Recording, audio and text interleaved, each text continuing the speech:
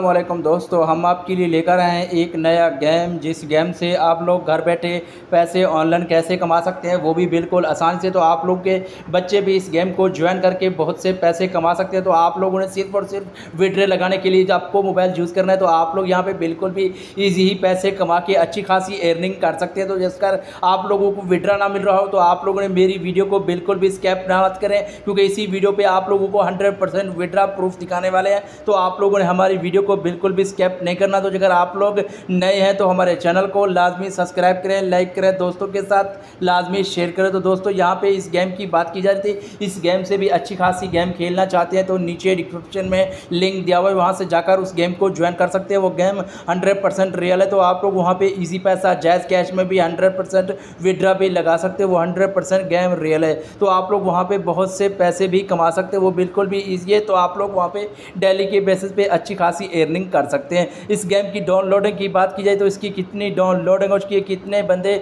इस गेम को ज्वाइन करके अच्छी खासी अर्निंग कर रहे हैं। तो वीडियो को बिल्कुल भी स्कैप मत करें। इसी वीडियो की तरफ़ आप लोग को लेके चलते हैं। देखते हैं ये गेम रियल है या फिर फेक तो आप लोग के सामने यहाँ पे गेम स्टार्ट हो चुका है तो यहाँ पे देख सकते हैं इस गेम को हम कैसे कंप्लीट करने वाले हैं तो बिल्कुल भी इजी है। तो आप लोग यहाँ पे डेली के बेसिस पे अच्छी खासी अर्निंग कैसे कर सकते हैं, वो भी बिल्कुल आसानी से। तो आप लोग यहाँ पे बहुत से पैसे कमा कैसे सकते हैं तो वो भी बिल्कुल ईजी है। तो आप लोग यहाँ पे डेली के बेसिस पे अच्छी खासी अर्निंग कर सकते हैं। तो दोस्तों, यहाँ पे देख सकते हैं इस गेम को हम कैसे कंप्लीट करने वाले हैं तो बिल्कुल भी ईजी है। तो आप लोग यहाँ पे डेली के बेसिस पे अच्छी खासी अर्निंग कर सकते हैं। तो दोस्तों, इस वीडियो को बिल्कुल भी स्केप मत करें तो डेली के बेसिस पे अच्छी खासी अर्निंग ईजी पैसा जैस कैश में पेपाल में कैसे विदड्रा कर सकते हैं, वो भी हंड्रेड परसेंट तो दोस्तों, यहाँ पे ये गेम बिल्कुल भी फेक है। इस फेक गेम से बच के रहिए, अपना ख्याल रखिए। ओके अल्लाह हाफिज़।